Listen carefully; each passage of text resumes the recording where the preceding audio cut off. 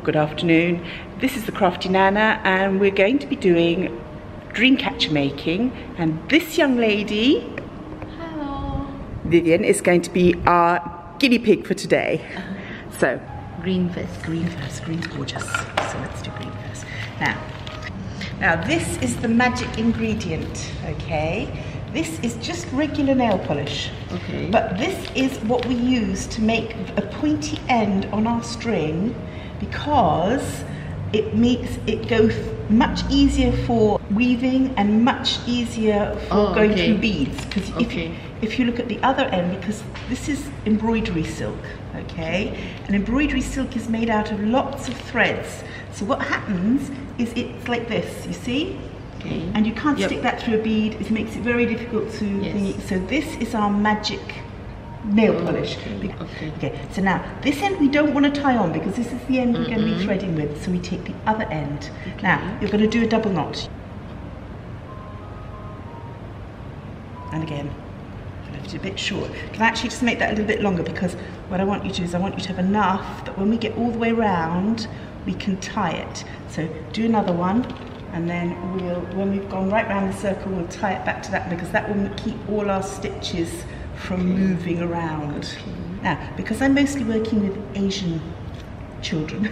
um, what I do for the to teach them how to make the loops is mm-hmm. I use an analogy that they will remember and understand. So what we do is we mm-hmm. put go straight across the middle, and these are our noodles. Okay, mm-hmm. this is our lovely bunch of noodles here. We have our chopsticks. We go between. We pull our noodles up, and this is our first loop. We put our loop in the same position each time. So it's going to be one inch, one inch. We don't want them closer because if they're closer together, it will be too small. When you start to get here, it'll be hard, really hard work. So one inch, one inch, one inch, one inch, all the way. So again, across. Okay. Fin- no, fingers go through, go through. That side, no, that side, that side of the thread. That side. Side. Yes, pull up. Okay, perfect. Look. So then you move it round. Now this is a little bit um, catchy, so you have to make it go loose. But this is good because it helps to hold each loop in the right place so it doesn't slide. If you have a very slidey one, it goes all over the place. So this up, same distance. Right now, again, this time you all on your own. So this. That's it, perfect. You'll need these later, so I'll just move them out your way to over here. Like to move it round. That's it. Pick it up. It's funny because it doesn't even look like a loop until you pull it tight and then it's there.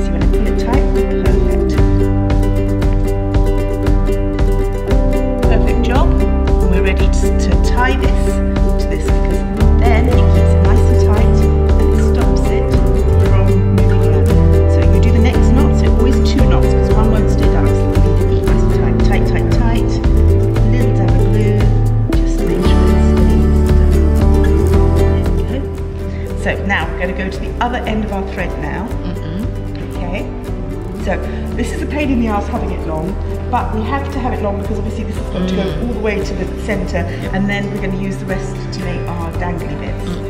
Okay. So what we do is we pick it up now. So mm-hmm. have you, you you've done like regular sewing?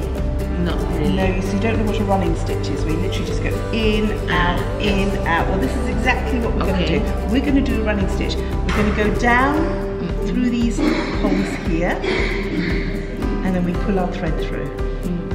Now, what we want to do is we want to make sure we don't end up with knots, okay? Now, also very, very important is don't ever go around the outside because Okay. we're trying to get to the middle. If we go around the outside, it stops us from mm. working our way in. Okay, so that's our first one.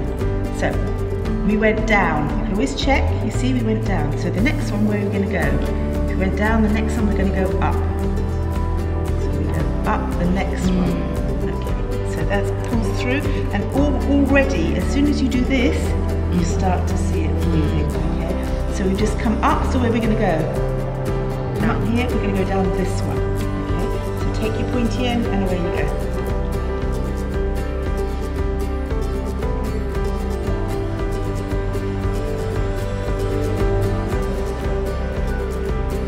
Now, whilst you're doing that, what I'm going to say to you is you've now got think about certain different options. You can add occasional beads just into the weave. When the Ojibwe Indians created these to, to protect their babies from the nightmares, sometimes they would take like little stones and little beads and they mm-hmm. would give them a special meaning. So they would like, so if you were going to give it to a friend of yours who's going to put it in his car, you might think, mm-hmm. all right, this is going to protect you from accidents, and you think mm-hmm. about that when you're when you're weaving it in, Oh, and so it adds a little bit of like a positive vibe to it, you know. Or you can wait till you get to the centre and we can leave a little hole in the middle and we can put a nice bead in the centre and then put some feathers from that bead in the mm-hmm. centre. But there's lots of different ways we can do it. We can just have So if I want add in, yeah, so, what you it's- do is you just put it in exactly like that and then you carry on the next up, down, carry on. If you want it every one, you do one and then go through, and then one and go through, then one, go through. Or you want it every other, then stitch, bead, stitch, bead. So it's up to you which way, how close you want them together, where you want to put them. okay, can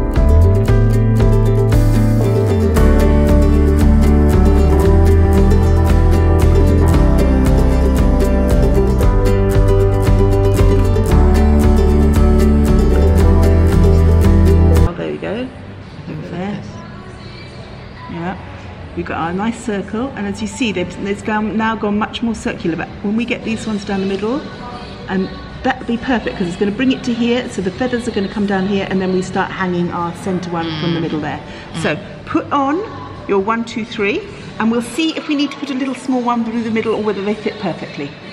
Okay, whilst you're doing that, we're then going to have a look at the feathers and decide what feathers want to go into our centre. And which feathers we're going to use for each of the different dangles. And then we're going to work out the beads for each dangle. That's the actually that's the artistic bit where you've got to take a little bit of time and work out. Okay. There's the middle Okay. one that's got can have more and can be the more fancy one because that's the focal Mm. point. But the two at each side need to match each other. So as long as Oh, it's balanced, okay. the middle one can be as fancy as you like as long as the other two balance. Okay.